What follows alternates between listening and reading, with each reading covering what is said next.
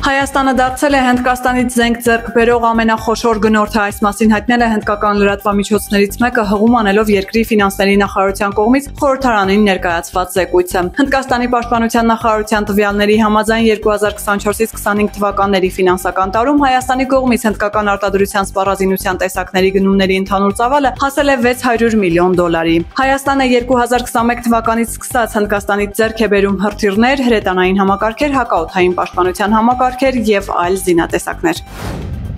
Հայաստանի օլիմպիական հավաքականը Փարիզի օլիմպիական խաղերին կմասնակցի 15 մարզիկով։ Անկախ Հայաստանի պատմության մեջ առաջին անգամ է, որ ազգային թիմն այսքան փոքրաթիվ է, սակայն հավաքականի կազմում բազմափորձ մարզիկներ են աշխարհի եւ Եվրոպայի չեմպիոններ օլիմպիական խաղերի մրցանակակիրներ։ Վարչապետի աշխատակազմի ղեկավար Արայիկ Հարությունյանը հրապարակելով նրանց լուսանկարները գրել է. «Մեր պատմության օլիմպիական ամենահավակնոտ թիմն օրեր անց կպայքարի օլիմպիական մեդալների համար»։ Նա մաղթել է բազմաթիվ հաղթանակներ։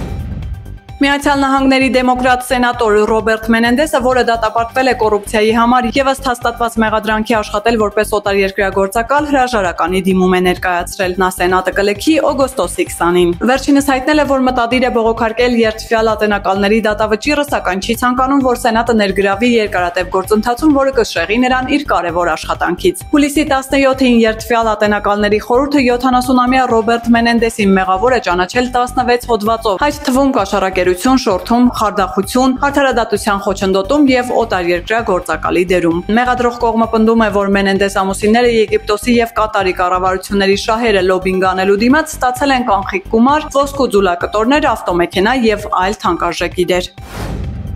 Վրաստանի պետական անվտանգության ծառայությունը հետաքննում է Ուկրաինայում բնակվող Վրաստանի կառավարության նախկին ներկայացուցիչների կողմից իշխող վրացական երազանք ժողովրդավարական Վրաստան կուսակցության հիմնադիր եւ պատվավոր նախագահ Պիձինա Իվանաշվիլիի սպանության նախապատրաստումը։ Գերատեսչության տվյալներով Իվանաշվիլիի սպանության նպատակը անկարգություններն են, իշխանության թուլացումը եւ կործանարար ուժերի կողմից դրա տապալումը։